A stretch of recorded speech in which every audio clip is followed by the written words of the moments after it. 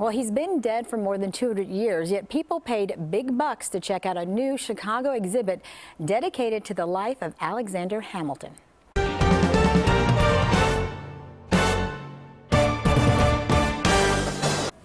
Okay, we added the music for effect because this whole thing is inspired by the Hamilton musical phenomenon.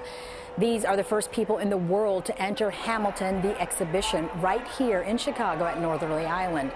Inside this newly built hall, they'll find 25,000 square feet of Hamilton artifacts on display, accompanied by an audio tour narrated by the musical's author Lin-Manuel Miranda.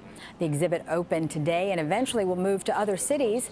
Tickets cost about four Hamiltons. You know, that's 40 bucks in case you're counting.